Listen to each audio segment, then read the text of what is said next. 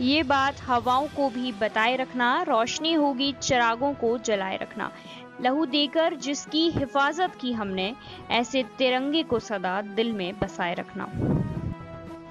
मध्य प्रदेश के विदिशा की जनपद ग्यारसपुर की ग्राम पंचायत इंदरवास के सरपंच आबिद खान की ओर से समस्त ग्रामवासी एवं क्षेत्रवासियों को स्वतंत्रता दिवस की हार्दिक हार्दिक शुभकामनाएँ।